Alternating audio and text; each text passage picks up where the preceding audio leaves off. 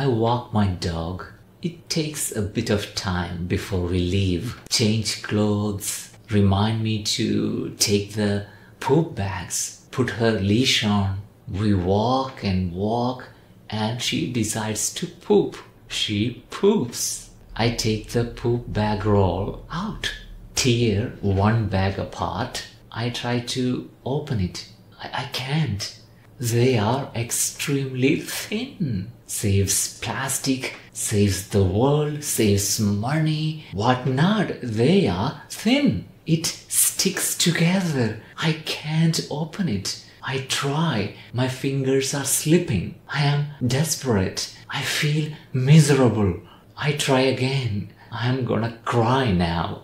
This has been going on for months. It's just devastating.